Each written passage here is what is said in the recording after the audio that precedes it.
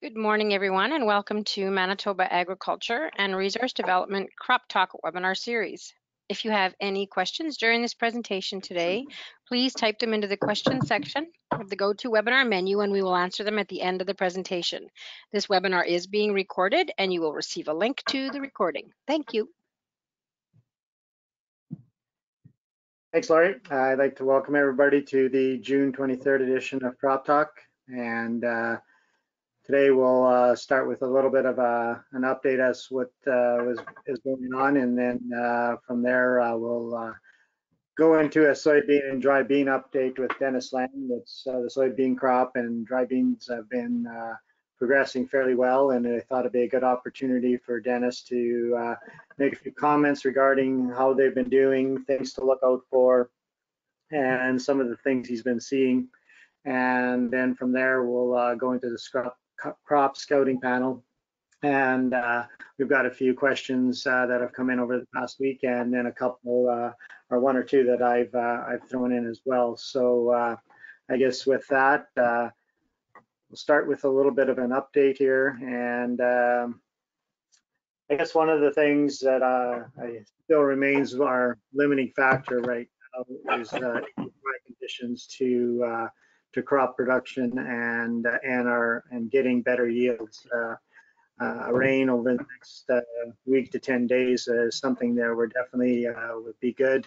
we got a lot of the early seeded cereal crops uh, that are starting to head or in the flag leaf uh, stage and um, you know just to help finish filling that head and maybe to get a little bit more more height on on some of those crops i think uh, seen a few comments uh, and talked to a few producers where uh, they're saying that a year it was a year that the uh, mother nature put a plant growth regulator in in on her own so uh, we definitely have some short crop out there.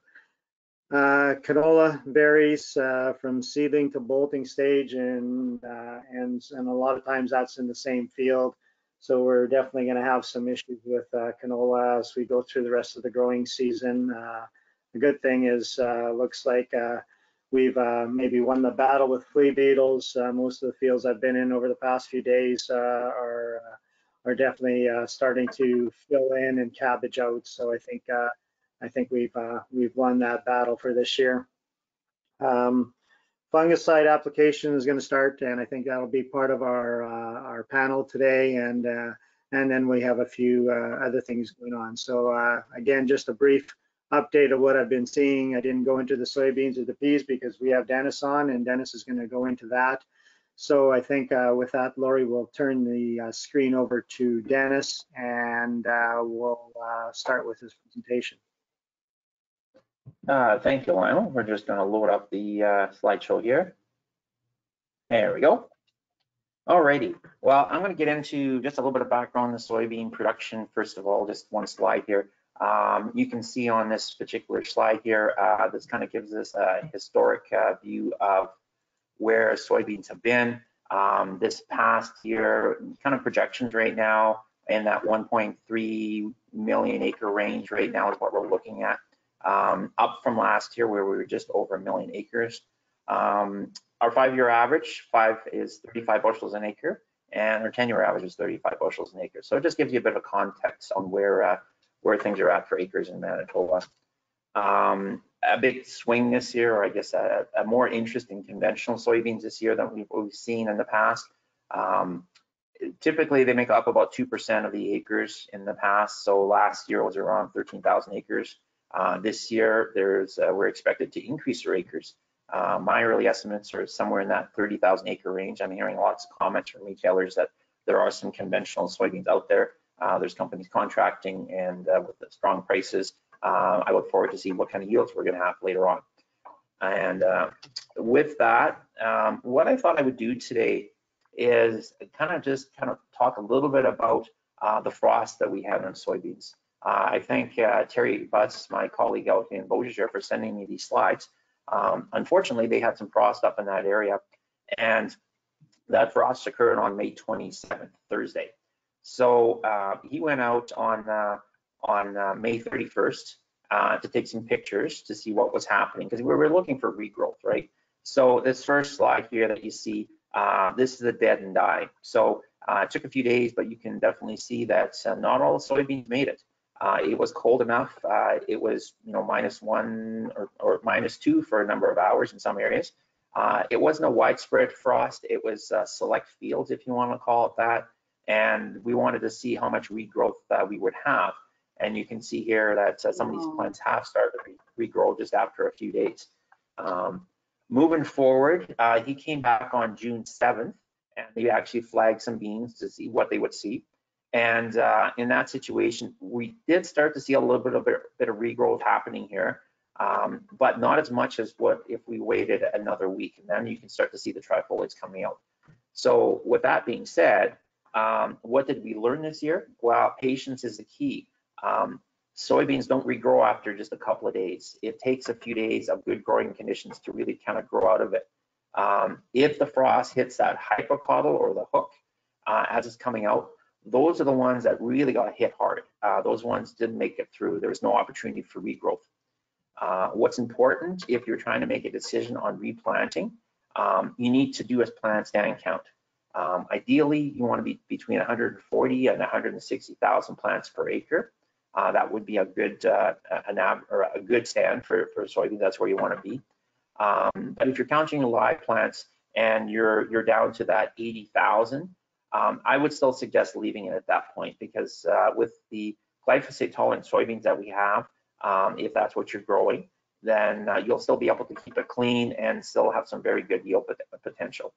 Uh, some of the other things to kind of consider is um, you want to check with your seed company that you purchased your seed from to see what type of replant program you have if you are considering any replanting. Um, if you can go and replant between rows, to help build a population, that might be a best course of action when it's getting late in the season because this frost was so late. Um, if it was a little bit earlier, sometimes those decisions are easier to make to wait. But when you're at the uh, at the deadline and you have to make a decision, sometimes you know trying to go in and top up a, a population may be your best course of action. Um, not every field is the same.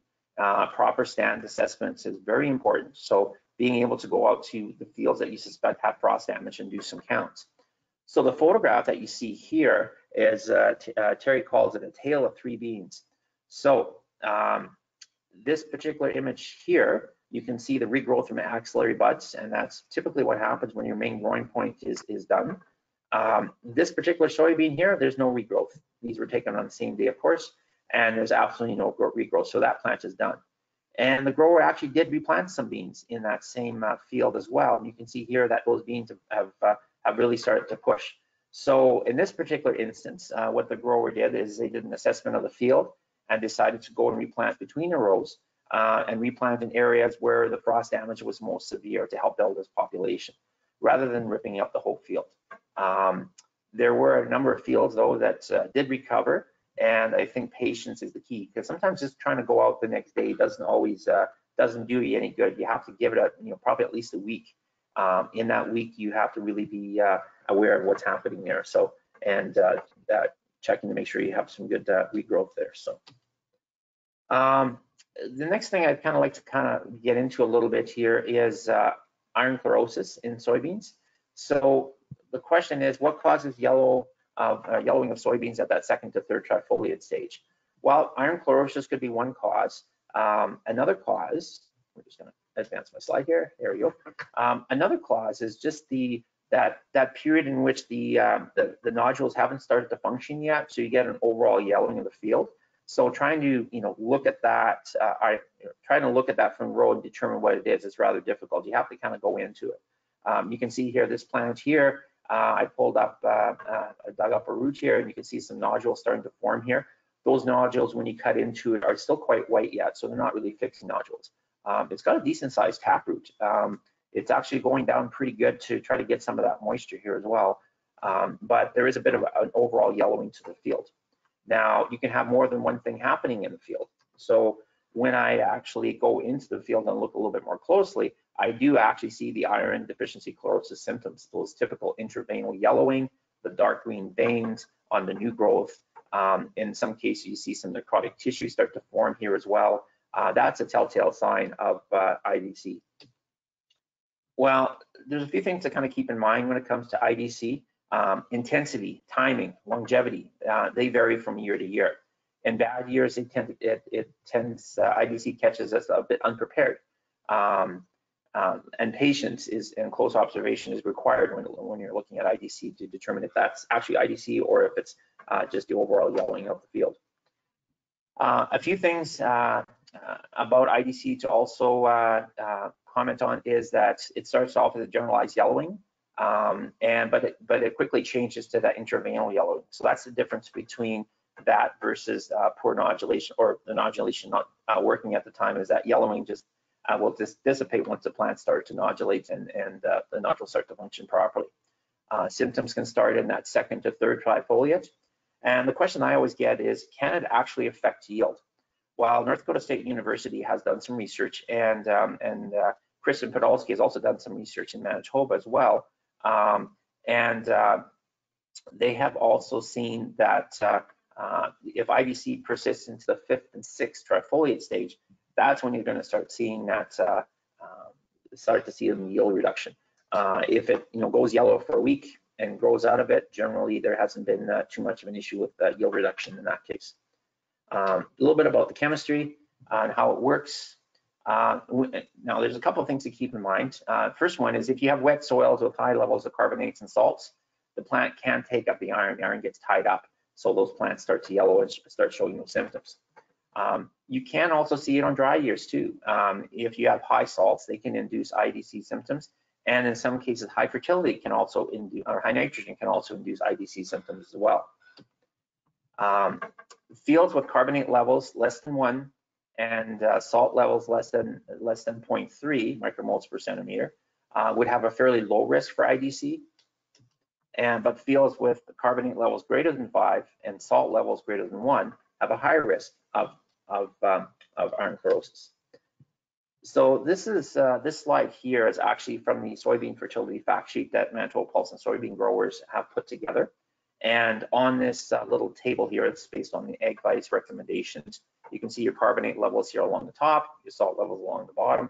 When we were talking about those levels, uh, if you're greater than five on the carbonates and uh, salts are greater than one, um, you're looking at extreme or very high uh, levels. And you may ask yourself, where can I find some of this information? Well, when you do your soil test in fall, you can actually ask for that. And uh, you can ask for the carbonates and you can ask for the salts as well. And you can see here, this is from one of my, from my field here. My carbonate levels is are uh, at 5.9%, which is considered high. Uh, my salt levels is, is 0.87, which is also is in, in the higher range. So going back to uh, the previous slide, and uh, what we'll see here is uh, we're seeing I'm, I'm in a relatively high zone when it comes to uh, uh, when it comes to IDC. So I have to be very selective on the varieties um, that uh, that I'm looking at. Um, now, patience, you know, again, going for, going away for a week after you start to see the first IDC symptoms, probably your best bet at this stage of the game. There's really no quick fix for it once it's in the field. Um, there are some products. Uh, Soygreen uh, is just to name one non product, but it's the uh, the iron chelate products. Uh, but those are typically used as a in furrow uh, uh, treatment at seeding time. Um, it's not really going to take a susceptible variety and make it tolerant. It'll take one that's semi-tolerant, maybe make it a little bit more tolerant but typically it doesn't really have any effect when you do it in crop. It's only as a seed treatment. Um, if you have high nitrate levels in the soil as well, um, you know, that's something that can affect uh, IDC as well, and you wanna help draw those down. Um, probably the biggest thing that you can do, I guess, uh, with IDC right now, it's more of a learning experience at this point. Uh, picking an appropriate variety for, for, for a field, I think is probably the best way to manage IDC. So if you already know you have a field with high carbonates and high salts, uh, if you go to Seed Manitoba or the Manitoba Soybean Variety Evaluation Guide, um, you'll see the following. Now, this is just a snapshot of, Seed Manitoba and the ratings. And you can see here the various ratings based um, on the varieties that we grow in Manitoba and that we tested this past year. Um, I just posted here the early and, uh, or the very early and early season uh, uh, lines. And you can see here, there's quite a mixture. There's some that are considered tolerant. anything that, when I rate these varieties, anything that is 1.7 and lower, I consider tolerant. Anything that is 2.3 and higher is considered susceptible. So if you see something that says a 2.3, um, you can, uh, that's in that case, um, you would see uh, yellowing starting. Um, and as it gets worse, if you see something that's at 2.9, then you're starting to see some necrotic tissue. And just to give you an idea, these are not company ratings. Uh, we actually have a site that is uh, right close to Winnipeg, and actually where I'm going later that later this morning uh, to do some uh, evaluations at that site. Uh, each of the variety is tested at this, this, particular site three times or three reps, and uh, we do we go back three times. So we have a total of nine ratings. So I go through each variety, give it a score. Um, I come back a week later, I score it again, and um, with that, what I can determine is, is that variety tolerant uh, or is it susceptible? Um, generally what happens is if a variety is tolerant, it stays green pretty much right through the whole three week period. It doesn't really yellow at all. Uh, if a variety is kind of in that semi-tolerant zone, so like from a 1.8 to about a 2.2, um, then generally what happens is it might start off at a high score, like at a 2.1 or 2.2, but over the course of the time period, it improves and it gets greener. And that to me tells me it's semi-tolerant, meaning that in extreme cases, you'll see IDC uh, occurring in the field, but it, it quickly um, uh, corrects itself. Now, if I'm seeing 2.3 or higher, then that tells me that that variety is really not suited for fields that have high, very high carbonates and high salts. And so that's why it's really important to have a good handle on what your what your soil characteristics are. So those are some of the tools that you can use to help uh, with IDC moving forward. Um, I want to throw this last slide up about IDC. This is from a field up in the Stonewall area, and I put some of the information on it. Uh, the carbonate levels were 11.3%. Uh, the salts were 1.42, so well above the, the numbers that anybody would uh, want to put uh, soybeans on. It actually came to a point where AgVise recommended that they do not plant soybeans on it. Um, but the reason the reason the guy, the grower, wanted to have uh, soybeans on it because of the phosphate level was so high, 56 ppm. They wanted to try to draw that down, right? Nitrate levels was also very high, so that also contributed to the iron chlorosis in the field. So um, this field, um, it was still an, an, okay yield, if you want to call it that. It was in that low 30 range. Um, the area average was a little bit higher than that, closer to 40 but anytime it rained, any any kind of excessive moisture, you'd see these iron chlorosis symptoms show up. Um, I did not, uh, I don't recall what variety it was, but based on what I see here, uh, it was probably a fairly susceptible line. So again, just something for interest sake in this uh, discussion. Okay. Um, I'm going to move into the dry bean discussion now, and you notice in this particular slide, this is a, a slide of uh, some pinto beans with some soybeans mixed in. Um, soybeans are a real rotational concern when it comes to dry beans. Um, if you grow soybeans in year one, wheat or any kind of cereal in year two, um, and then want to follow up with dry beans in year three, uh, this is what you might end up seeing at harvest time. Um, the soybeans tend to volunteer in, in that crop because the chemistry is the same that you'd spray on a soybean versus or on a dry bean versus a, a soybean um, you'd be spraying Basagran, the Viper, those um, those types of products, um, and they really don't do anything against the soybeans. Um, and I've seen uh, variations from anywhere from a half a percent soybeans in the sample all the way up to 10%. Now you may ask yourself, well, why is soybeans such a concern? Well, uh, soybeans are considered a food allergen in the dry bean industry.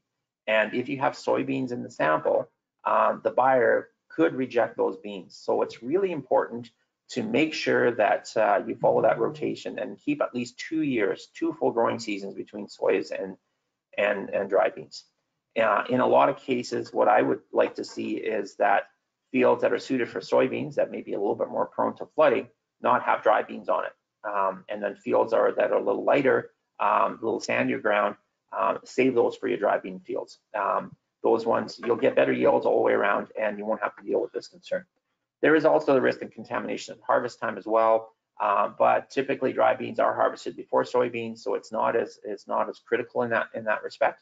Um, but uh, again, if you do end up harvesting your soybeans first, you really need to do a good clean out uh, before you get into your dry beans because uh, you don't want to end up having a load get to the, the bean plant and have it rejected. So for dry bean acres in Manitoba, we'll see a bit of a drop here this year, um, which isn't really uh, concerning at all. Uh, we're, uh, we did, I did some uh, a rough uh, survey of the industry here last week, and we're probably projecting somewhere around that 153,000 acre range. Uh, last year we were at 185,000 acres, so that was a, big number. We haven't seen that since probably mid 2000s, as you can see here. Um, yields last year were, quite quite acceptable here. Um, we were we were looking here in that in that, you know, just shy of 2,000 pounds an acre in that 1,900 pound range. So very, very pleased with the yields last year. This year, well, we'll kind of wait and see. Um, it's still kind of early yet. Um, the crop is established at this point, so we're uh, we don't have any concerns that way. I'll talk a little bit about the wind damage in a moment that we had this past year. But uh, to give you a, a comparison here, um, our five and 10 year average is uh, just over 1,700 pounds per acre. And uh, last year, we, that means we were above the five-year average last year. So uh, pretty happy with the uh, overall uh, acres here with, with dry beans. Um, I guess the, the, biggest thing I kind of want to talk about, or two things, I guess, in this. The first thing is the, the wind damage that we saw uh, that Friday here in the Carman Winkler areas. Uh, it was quite severe. Um, in especially on some of the lighter soils, it really beat up those plants, and you can see here the the lesions on the on the uh, unifoliates here. Uh, in some cases, the worst field I saw was um, a field that was planted north-south, um, and the winds came from the west, and it was planted about 140,000 plants in a 30-inch row, which is a lot higher than we, what we normally would plant at. And when we did a stand count last week, we were only at 40,000 plants. Um, so it really beat up and, and just removed plants totally. I've been in fields where, you know, the unifoliate gets stripped off and there's still a growing point there and it's all good. But in this particular field, uh, it was really stripped back. So in that case, we did decide to, you know, in the end, just based on the time of year it was, um, because we're at kind of at past the deadline already, uh, we decided that uh, the grower would uh, just leave it and see how it would uh, progress through the season. They'll have to try to keep it clean, so it might be another uh, application of Basagran to help keep that field nice and clean. Um, but we'll see what happens in the end. 40,000 is, is way lower than what you would normally have for a stand. Um, ideally for a, a, navy or a black bean, uh, you'd be planting at that uh, 120 range, 1, 110 range to end up with around 90,000 plants. But to cut that in half down to 40, that's uh, that's a pretty thin stand. But you know, with the, just what the year it was, it didn't make sense to go and replant anything into it. Uh, even replanting uh, into, let's say, another crop like canola um, you're right at the tail end of, of uh, crop insurance anyways. And then if you have other canola um, uh, already planted early and it's looking good, um, it doesn't uh, doesn't bode well to have a really late crop because it could affect your overall coverage if uh, if uh, if that field didn't perform very well. Um, but you can see here some additional slides of the wind damage. This is the most severe ones that I saw where the plants were still there, but they were pretty much beat up. And you can see here, there's really not a lot of regrowth. So some of those plants aren't going to recover. Um, here, this one has a little bit more life to it. Here you can see that little bit of a trifoliate coming here as well. Um, and uh, in the same field, you can also see this. So quite a range um, in uh, what those plants look like. Um, I did have a few growers replant um, right at the deadline, and uh, they were just going to take their chances and just go replant into it uh, just offset the row, and, and, they can do that because they felt that uh, certain and certain fields did get hit really hard. That the stands were uh, requiring replanting, but I think overall we made out okay. There should be enough regrowth there that should uh, uh, get a good crop coming through. Um, with that, moving forward, you know, with the wind damage that we saw, we're probably going to see more bacterial blight show up this this year. Um, bacterial blight, there's really no cure for it. Um, it usually shows up 10, 10 days or so more after a storm. This is some slides later in the season, but you can see here that these uh, these lesions on the lower leaves here um, basically coalesce and uh, take over the leaf. Uh, the new growth generally comes out fine. And a couple of points to kind of keep in mind with bacterial blight. Um, with the wind that we had, that will bring those uh, symptoms forward. And you'll see more of that in the field uh, after that kind of weather. Uh, it can spread throughout the crop if growers are cultivating when the leaves are wet. So there's a cautionary note not to not to cultivate when the leaves are wet.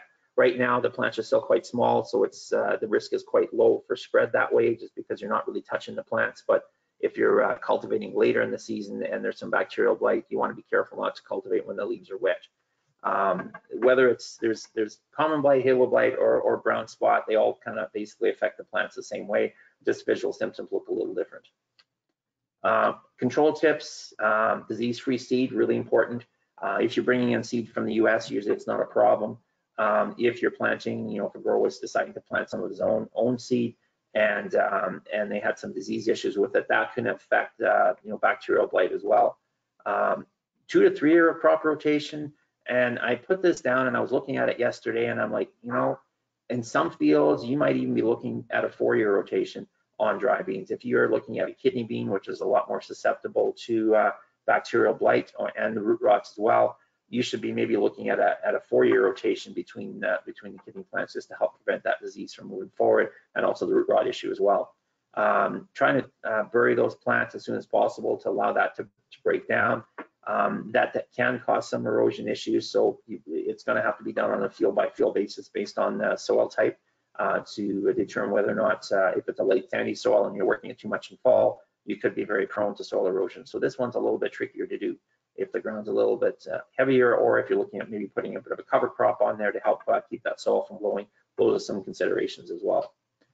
Um, Copper-based fungicides, um, there are some products listed in the guide for, for the spread of halo blight, but they're only moderately effective.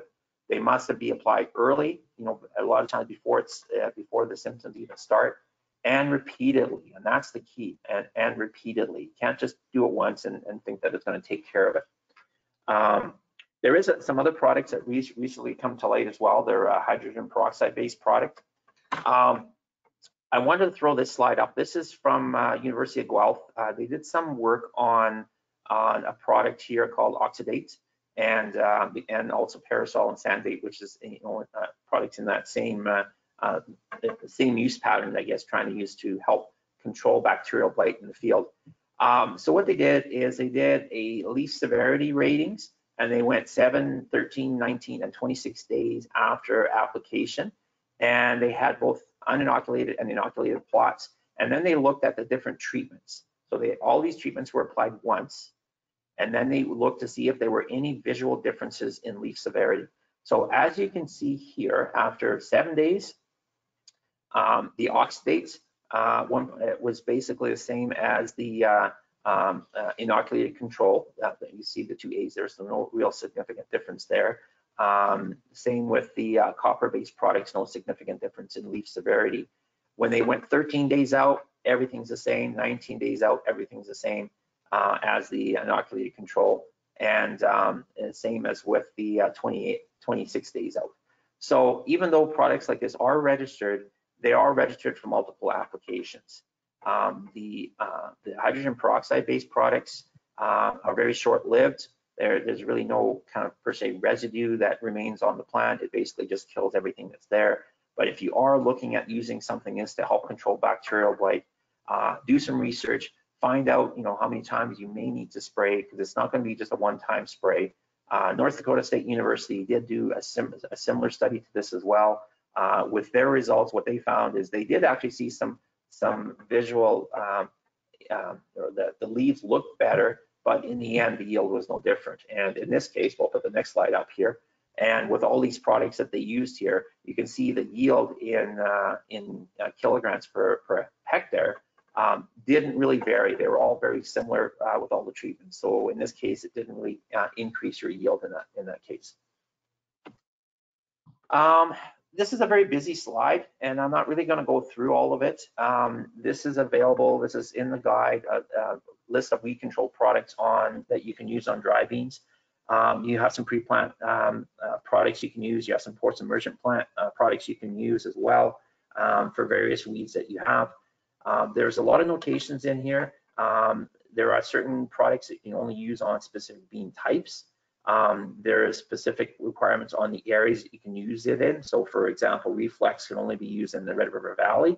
Um, it's only registered for that uh, and, um, and should also be included with Basagran as well. Viper is pretty much all over uh, that it can be used, but the staging, you have to really be careful with the staging. The reason I throw this up is um, I want to do a little bit of a different angle uh, with dry beans. Um, dry beans, when it comes to herbicide residue, uh, maximum residue levels, it's a very important topic in that in this industry. And uh, as a grower, you should be aware of what products are available to you and which products that uh, may have concerns moving forward. Um, before and after spraying, uh, there's a few things you need to consider when you're looking at dry beans. Um, are there any market requirements for the products that you're spraying it on? Um, the products that I had listed there, generally everything is good there, but you have to also be aware of the pre-harvest interval of those products. Um, if you're uh, if you're trying trying something new on a dry bean product, you might want to try make sure it's registered first. Um, just because uh, a number of the bean companies that have contracts uh, do require you to only use registered pesticides. Um, is a crop going to be tolerant? Uh, is the pest that you're spraying for going to have any economic loss? And then the pre-harvest interval is always a real concern as well. Um, I'm going to move ahead one slide here and go to this last slide that I have here. Um, I pulled some information from the Guide to Crop Protection and on some of the products that we spray in dry beans. And I've listed the pre-harvest interval and for a discussion point, I use the harvest slash cutting date of September 1st. So that means, uh, and then I worked it backwards. So uh, bentazone or Basagran, um, I use the harvest date of uh, September 1st. Now, um, uh, I did check into it. It does not list a pre-harvest interval, um, but you typically wouldn't be spraying it past flowering. So that would be kind of in that July 13th area. But there are some products like Reflex, Basagran combination, and it's mostly the Reflex. Uh, in that case, they give it an 84 day pre-harvest interval. So that means if your projected harvest date is um, September 1st, your last spray date would be June 9th. So we're well past that now. And Reflex also has staging requirements as well. So you have to uh, pay attention to that. Um, something like Viper only has a 60 day pre-harvest interval. So uh, we're probably in a lot of those right now. We're, we're still, uh, Viper would probably be one of the last products you could probably uh, still spray yet, as well as Basagran. Um, even something like Pulse Ultra, um, you have an 80 day uh, pre-harvest interval there.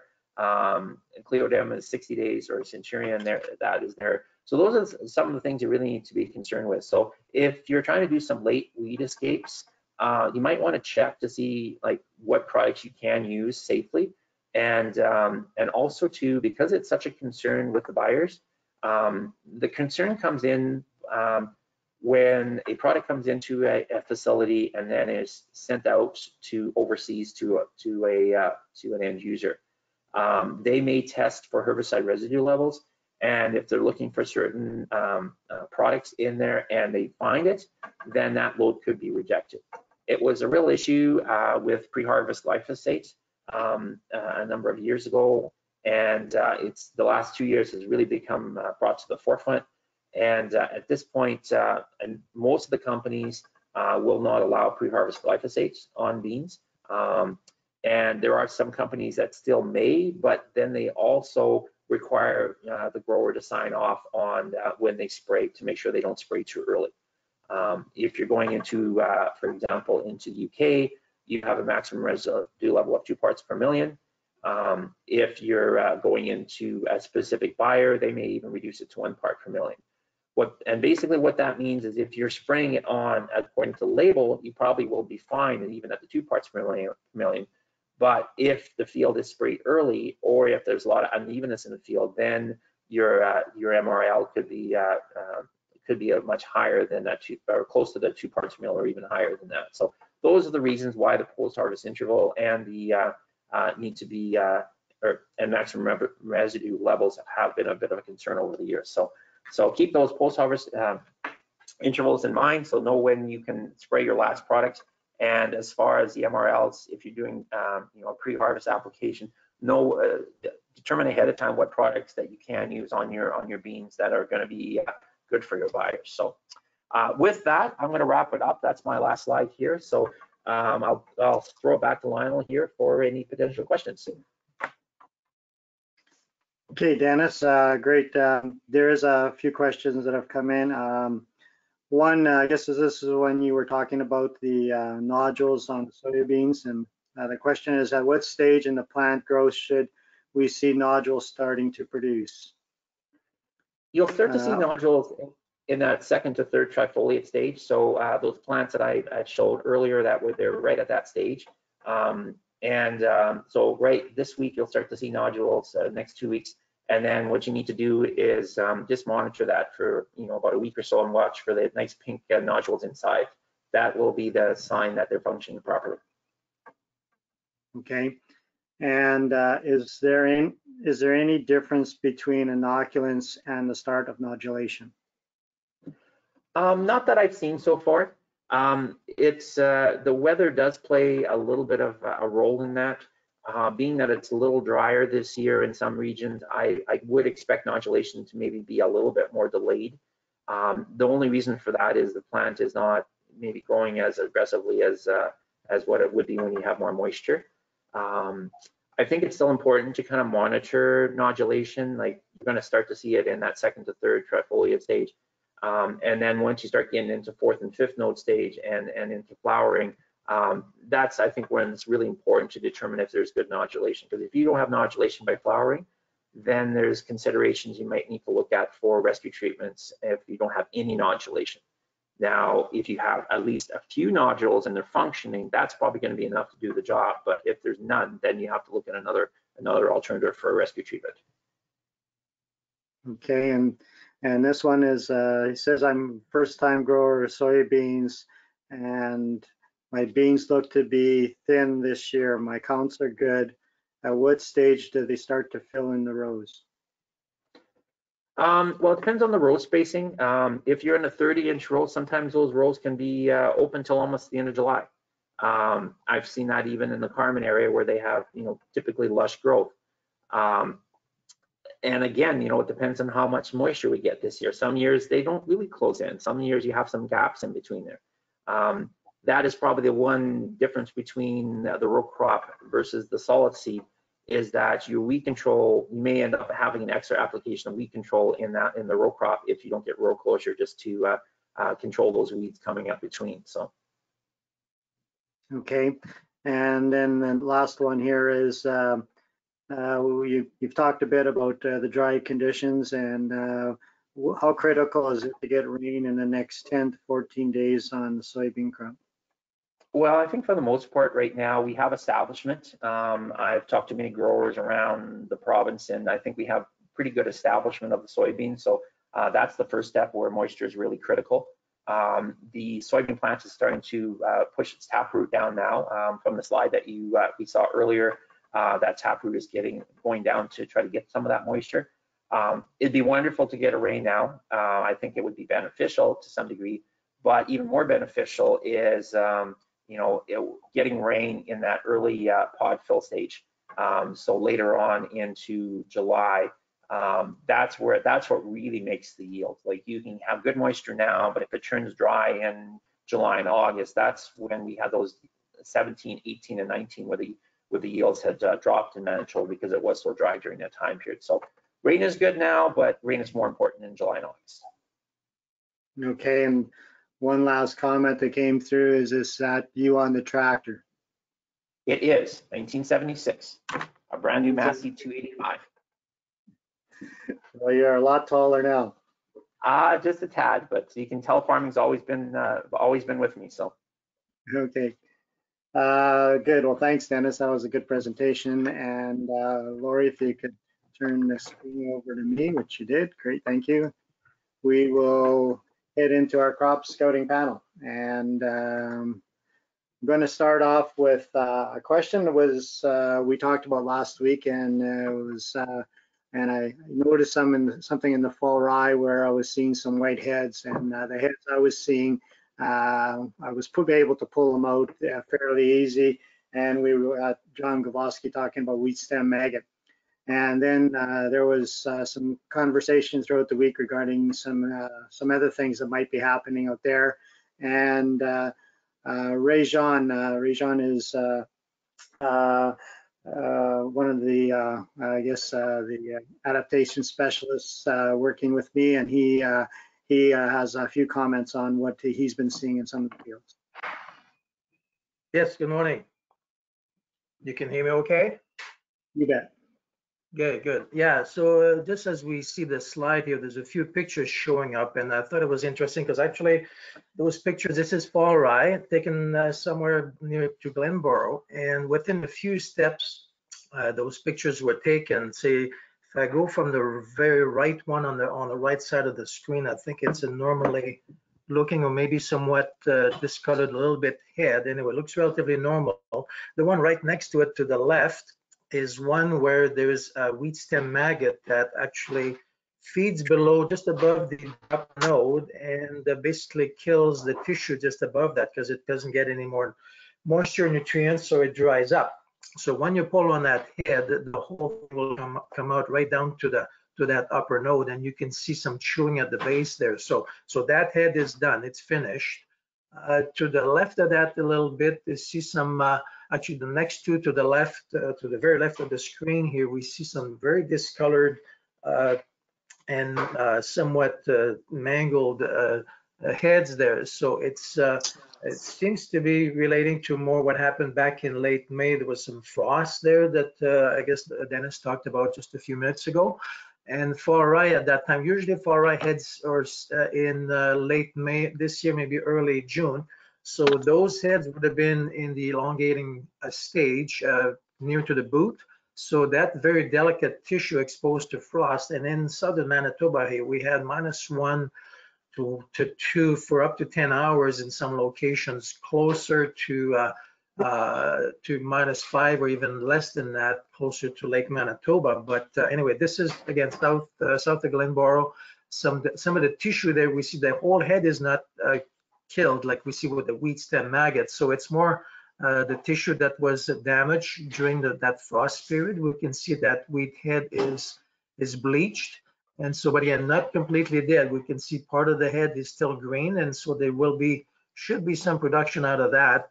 But again, it's a, a different condition than what we see with the wheat stem maggot there.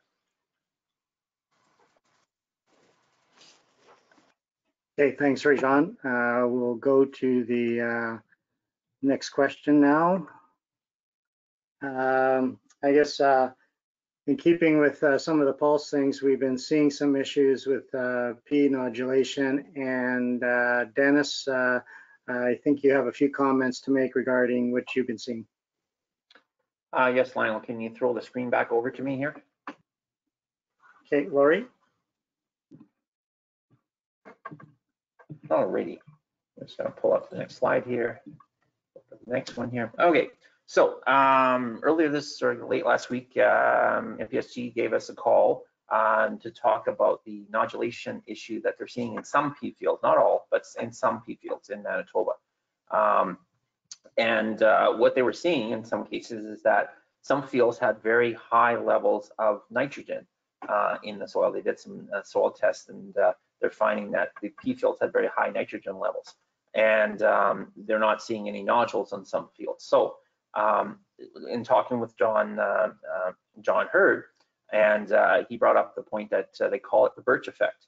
So when you have soils that become dry during the summertime because of lack of rain, or they're dried in the lab, you can get, um, you know, and then you get some re-wetting uh, after with precipitation or irrigation, you have a burst of decomposition, mineralization, and release of uh, inorganic nitrogen. And those levels on those fields are showing up to be quite high, and quite high meaning that they're ranging from 100 pounds to, in some cases, almost 200 pounds of nitrogen. Um, now is a critical time for nodulation in peas. When they're in that 9 to 10 node stage, you're getting very close to flowering. And um, if you're going and doing an assessment in your field and you're not finding any nodules, um, you need to you may need to uh, assess that. So um, John's put together a bit of a recommendation list, and this can also be found in the bean report that just came out this week uh, from Manitoba Pulse and soybean growers. Uh, so there's a bit of a checklist. So uh, according to Sask Pulse, there's a checklist you can kind of go through to, to give it to give you a nodulation score. Um, you want to check for N deficiencies, um, as in yellowing of the lower leaves, because it's the older leaves that are going to yellow first with nitrogen deficiencies. And as long as the yield potential is, is good, you may want to consider the following. Um, an application of 50 pounds of N at the nine plus node stage before flowering. And that is mainly just so you can actually get into the canopy. That's probably the biggest consideration there. Um, you need to apply as a granulate fertilizer. Um, so the granules can go through the through the uh, through the canopy. And you do not want to use a 2800 solution because you will you will get leaf burn.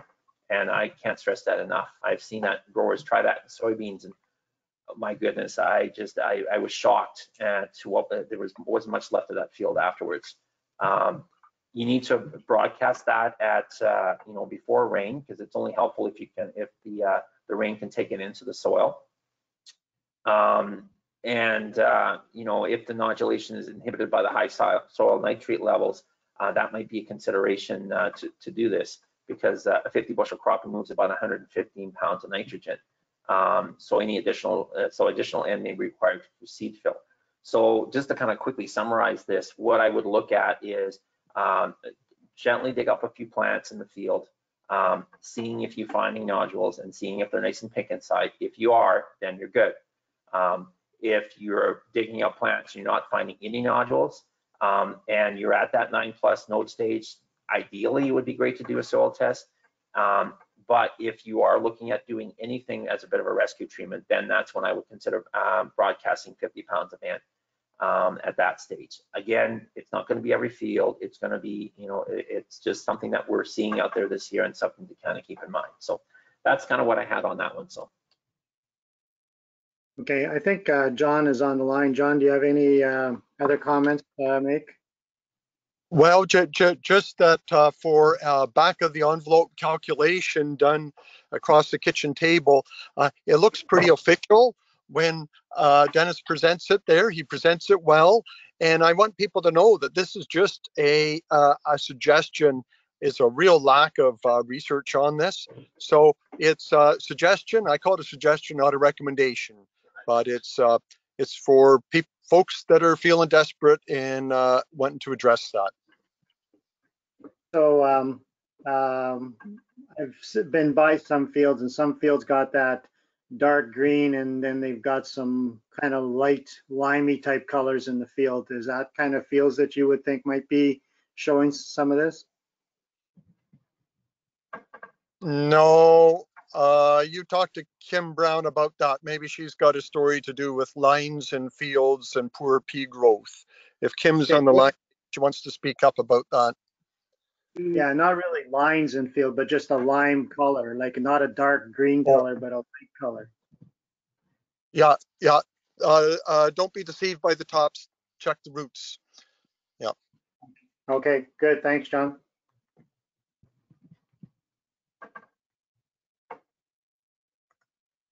Uh, next question for uh, Dave Kaminski. Um, seeing quite a few canola fields because of our uh, flea beetle problem we've had this year, where we've got plants that are bolting, we've got plants that are, you know, four or five leaf stage, and then we got plants that are, you know, one leaf stage. Um, how do I make a fungicide spraying decision? Uh, should I be targeting what stage of the plant growth in your mind would be the best, or what is your, I guess, on something like this? Well, uh, Lionel, I think it depends on which stage you're depending on to give you yield.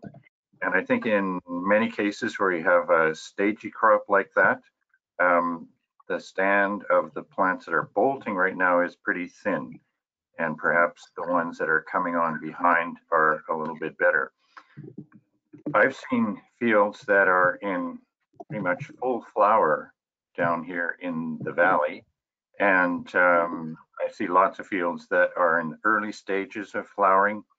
So when you have a two-stage crop like that, um, you can really only get sclerotinia infection when petals begin falling down on the crop. So those more mature plants are going to be dropping um, petals onto the crop and potentially causing infection, but uh, they have to be carrying spores too. And I think the chances of uh, spores being on those petals is slim to none. Um, the reason is soil surfaces have been completely dry for quite some time, so we don't have apothecia forming anywhere, not even in uh, better cereal crops on canola stubble, for instance. Okay, that's, uh, that's good. I'd be holding my fungicide dollars until you uh, see how that second crop is coming on and stage it that way. Okay, so then you're saying even in cereal crops, because they're fairly thin, uh, where we would normally be looking for the, uh, you know, the Yeah, infection coming from, they're not even developing there. right, you won't find it. Okay, good.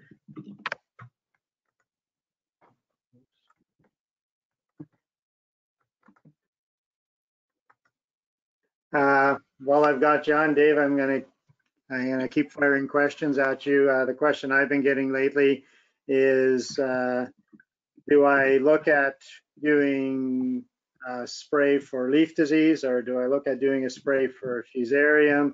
Uh, I guess the past few years, it's been pretty, pretty common that most of the fields have been getting sprayed. Um, I guess your opinion right now, I threw up the fusarium head blight risk map.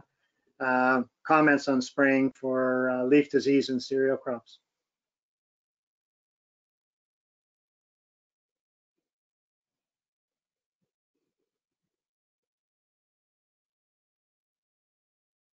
David, are you still there?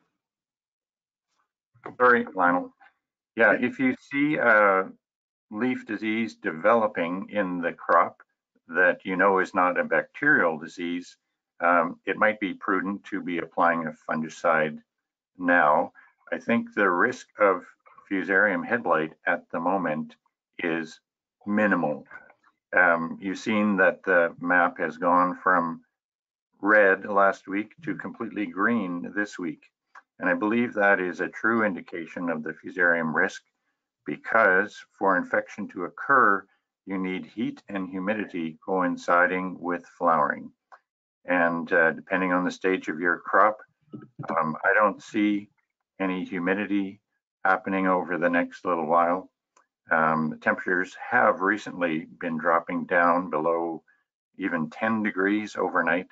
So in those conditions, you rarely see uh, any possibility of head blight taking hold.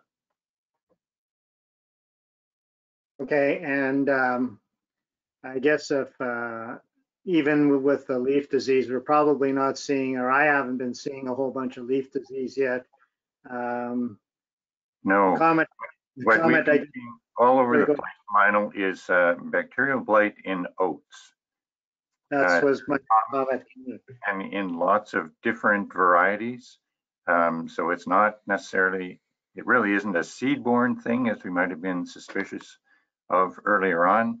Um, it's a common thing. Bacterial blights don't need much moisture in order to get started. Um, they, like uh, the other crops that Dennis was mentioning, cereal crops, um, oats too is affected by um, soil blasting and those kinds of things, which cause wounding on the leaves and an avenue for infection. Um, we've seen some pretty intense symptoms, and you know that fungicides do nothing against bacterial diseases. So you've just got to uh, grin and bear it on that front. Um, I always caution folks, though, that um, you know it's the photosynthetic area of the flag leaf that's most important for head filling but our eye is drawn to the disease portion and we often overestimate how much of the photosynthetic area is lost. So, Great, good, good comments, David. Uh, yeah, I was gonna ask you about the oats because, uh, uh, field on, uh, Monday I was in and there was definitely, you could see something happening with the oats leaf. So bacterial blight has been probably the biggest issue there. yeah, Uh, an agronomist colleague of ours was uh, traveling yesterday and looking at oats and seeing the symptom right from Altona across to Boissevain and beyond. I don't know about uh, further north, but uh, right across southern Manitoba, um, it's being noticed and catching a lot of people's eye. Great. Okay, good. Thanks, David. Uh, next question to John Gavloski. Uh, is starting to get some phone calls about the dry conditions and grasshoppers, and some guys are talking about uh, grasshoppers flying and I made a call to John and he gave me some good information. I thought it'd be good for him to share it with us here uh, this morning. Yeah, uh, thanks, Lennon. Really good question. Uh, yeah, the first point I'd like to make is that not everything that hops is a hopper, and anything flying this early isn't a pest grasshopper. So when you're out there doing your your scouting in the ditches, the field edges, and you see a lot of hopping activity, it is really good if you do have an insect net or something that you can sweep a sample and see what's there. Um, in your photo on the left, you have a leaf hopper. This photo is of a potato leaf hopper, a tiny little one. Um, when leaf hoppers are abundant, they'll be jumping around and um, they can be mistaken for the newly hatched grasshoppers. They're usually quite small. Now, leaf hoppers are extremely abundant. Um, there's over a thousand species in Canada. There's two species in Manitoba that could be pests. This species here, potato leaf hopper and aster leaf hopper. There's a lot of non-pest ones, so don't confuse them with grasshoppers.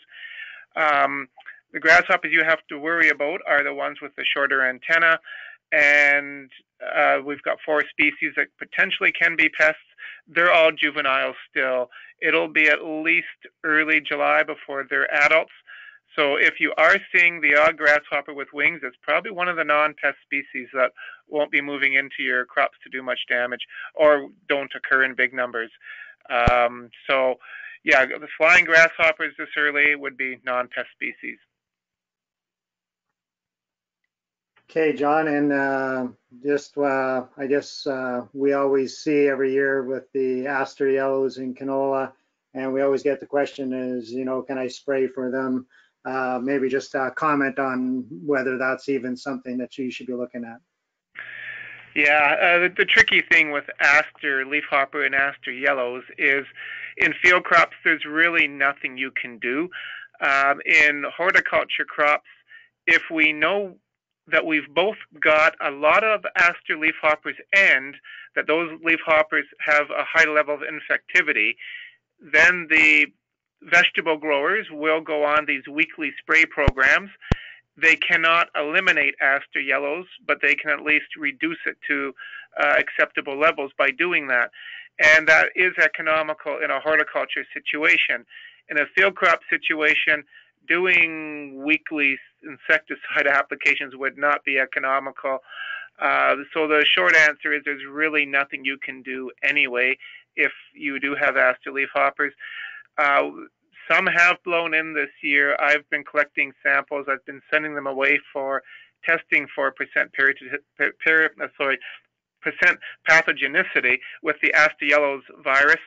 Um, right now, I don't really know what the percent um, of the leafhoppers that have the pathogen is. Uh, I'll be getting those results back really soon, and we'll po post that in our crop pest update. But the levels we've been seeing, again, um, probably nothing that you can do anything about regardless in field crops. Okay, and uh, maybe just a comment on the, uh, you're looking for samples of the cereal uh, cereal leaf beetle, yes, that's the one we're testing for for parasitism. So yeah, cereal leaf beetle. Um, what you will see is on any of your cereals, um, the larva would make long white streaks in the leaves. And don't confuse their streaking for something like thrips. Thrips will it'll be more um, a mottled white patterns, whereas with the cereal leaf beetle, it's very distinct long white strips in the leaves. If you start seeing that, uh, please get in touch with me. Let me know, especially if you're seeing what look like tiny little oily um, specks next to those streaks, because that's likely the cereal leaf beetle larvae. It's a, I'll say newer Manitoba. We've had it for over a decade.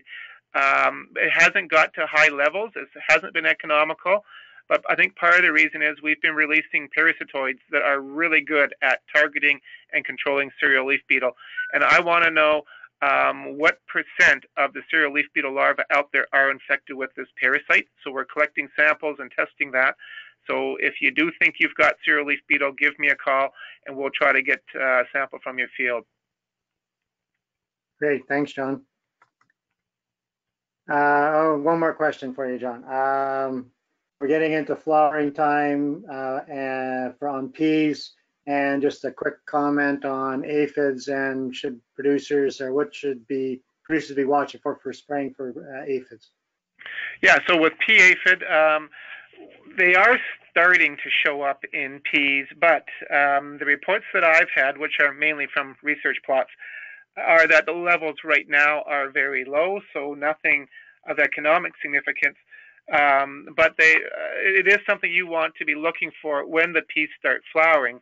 Uh, flowering is the ideal time for scouting. It's not terribly difficult. Uh, you can do it two ways. You can either grab a sweep net and go do some sweeping, or you can just take a handful of plant tips and shake them over a tray or something and try to figure out on average how many uh, pea aphids are there per uh, plant tip. And uh, if you're using the sweep net, you're looking at about um, in a, in a 10 sweep sample, it would be about 90 to 120 aphids. If you're shaking the plant tips, it would be about two to three aphids per plant tip on average for your thresholds. If you're at those levels, what you have to protect is the young pods. So getting an insecticide on when the, the plants are producing young pods would be what you'd want to target.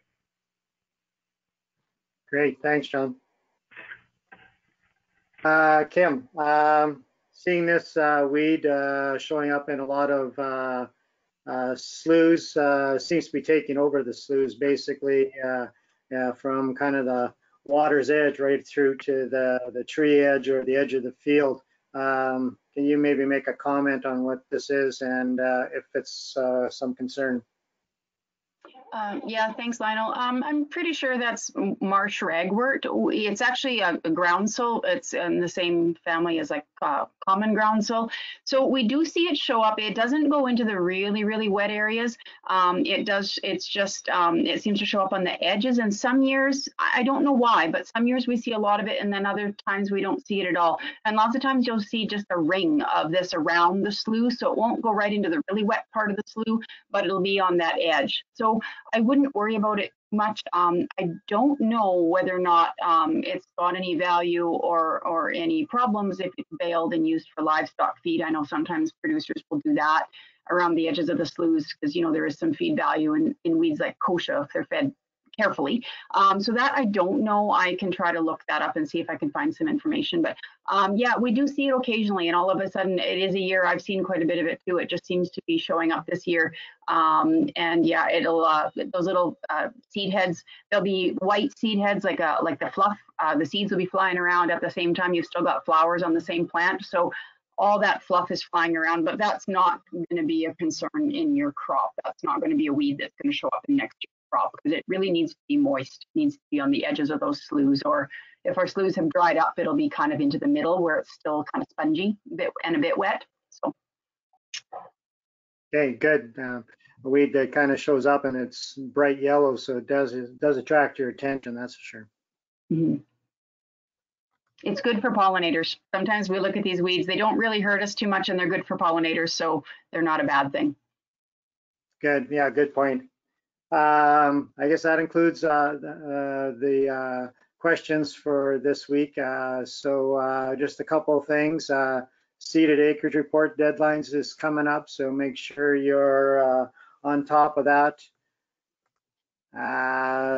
just again to mention, if you're short of water or want to improve your dugouts or uh, your watering systems. Uh, there are, is a program through the environmental farm plan, and here's again the information for that. Uh, we're into ins well finishing insects hopefully and into plant disease so uh, all that information is in your field crop guide the contact information for the ag adaptation specialists in the province so uh, uh, please feel free to give any one of these people a call if you have questions or need some information and join us next week, uh, June the 30th, for the next edition of Crop Talk. Thanks for attending.